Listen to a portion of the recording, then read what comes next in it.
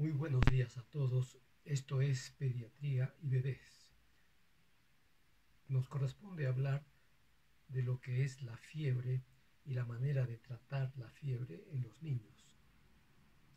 La fiebre es un mecanismo de defensa, es un proceso en el cual ante alguna agresión el cuerpo responde fabricando los llamados pirógenos que hacen elevar la temperatura del cuerpo, sea como una alerta o como un medio defensivo ante microorganismos o bien en casos mecánicos cuando el cuerpo no puede liberarse del exceso de temperatura, entonces ésta se eleva sobre todo en los niños muy pequeños que todavía no saben regular su temperatura.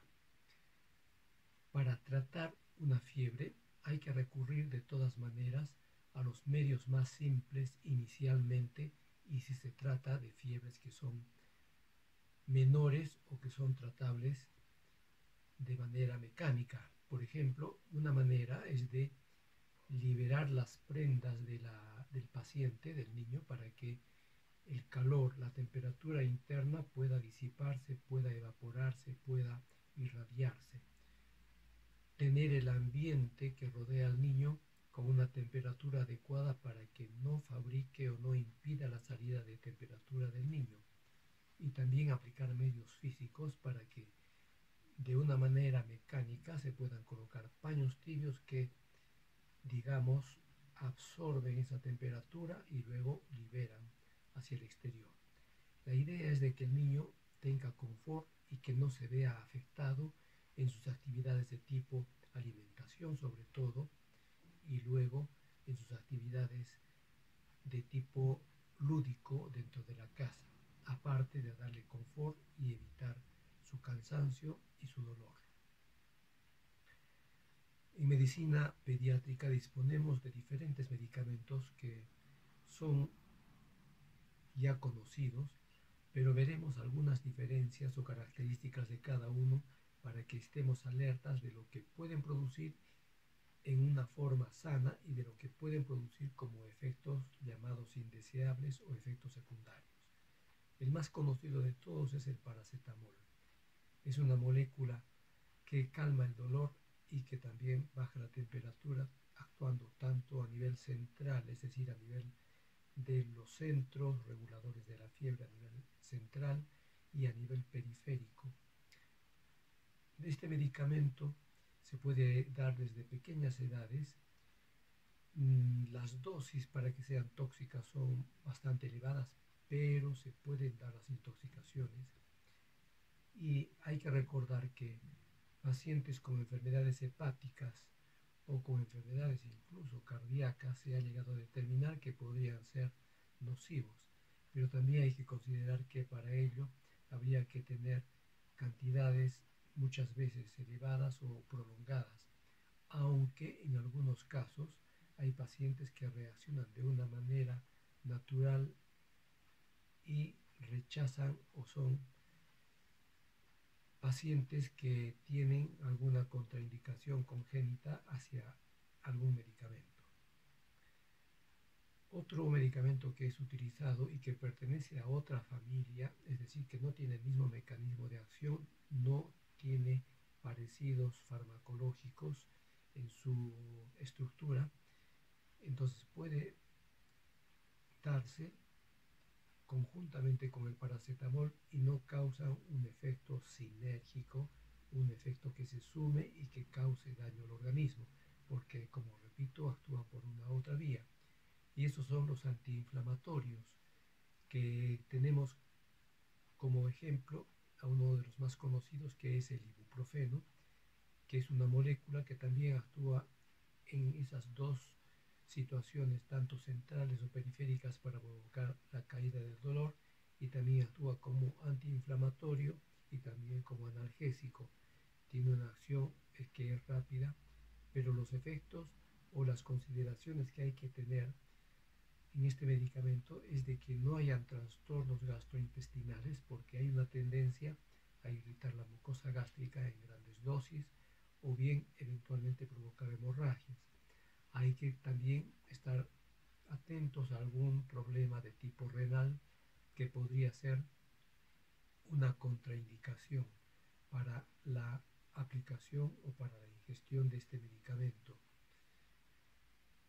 También se puede dar problemas a nivel metabólico o pueden darse problemas de tipo de hipersensibilidad a nivel pulmonar provocando espasmos bronquiales, por lo cual en ciertos casos no es bueno que un paciente asmático los reciba.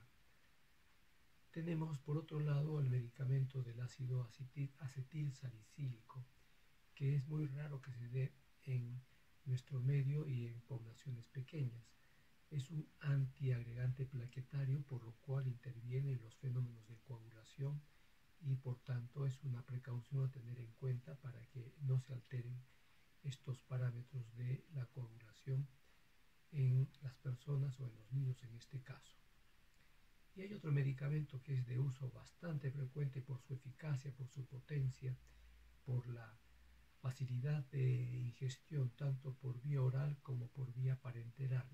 Vía parenteral llamamos a la aplicación de los medicamentos sea por vía intramuscular o por vía intravenosa. Es el acetaminofeno, perdón, es el medicamento metanisol que también tiene como otro nombre la dipirona. Es un medicamento también de tipo antiinflamatorio, pero que tiene un nivel de acción diferente y en el cual hay que tener todavía mayores precauciones porque eventualmente podría provocar efectos secundarios como el de las granulocitopenias, es decir, la disminución de los elementos sanguíneos de blancos, quiere decir leucocitos, eh, neutrófilos, que son los mecanismos o los elementos de defensa que tiene un organismo. Si se produce una baja disminución de estos elementos, la inmunidad queda comprometida y hay riesgos infecciosos mucho mayores. Entonces, es un medicamento a tener en cuenta. Igualmente, son medicamentos que pueden provocar una hipersensibilidad y reacciones en el organismo. Cuando el médico tratante ve esas opciones de los medicamentos que hemos señalado, tiene que ver la patología que tiene el paciente, la urgencia que necesita para recibirlo y para ello también debe decidir la vía por la cual va a aplicar o va, va a dar lugar la indicación del medicamento.